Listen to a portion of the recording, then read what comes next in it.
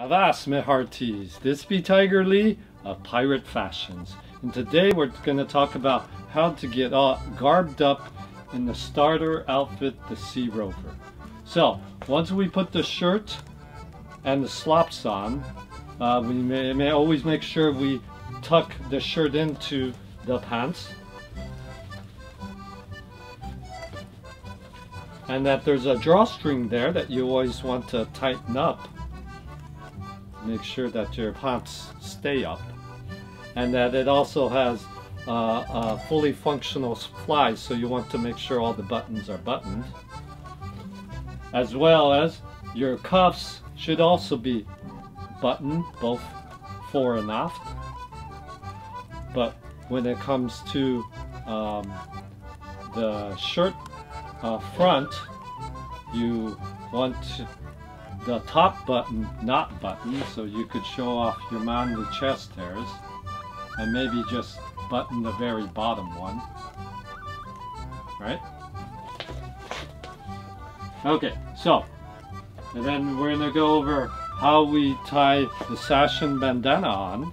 So here we're gonna say work with uh, the bandana first.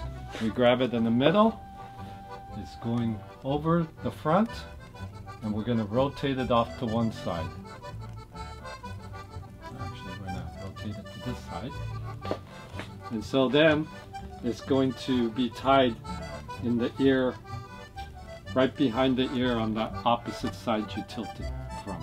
If you're wearing a hat, and all you do is put the hat on to um, lock in the bandana. But if you don't do that, then you have to finish it off with a square knot. All right? That's so that the knot is not in the back of your head, so when you go sleep in your hammock, you don't have a big knot there. All right? Then we're going to take the sash in half, and we're going to put it in front, and then we're going to rotate it to the same side as the tails of your bandana. And it's going to go around and uh, twist around so they can see. So, more. Alright, so when it comes back to here, the twist is behind the back and it's going to continue around to the front. Want to keep it as nice and wide as possible. Shimmy it so it's tight and then we're going to twist it. And here's the part where you see that what you want is this tail here to be longer than this tail on top. If not, then just rotate it a little bit more to the front.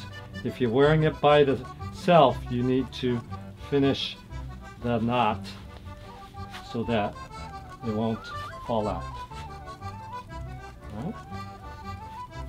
Okay, so that's what's needed to get properly garbed up in the Sea Rover outfit.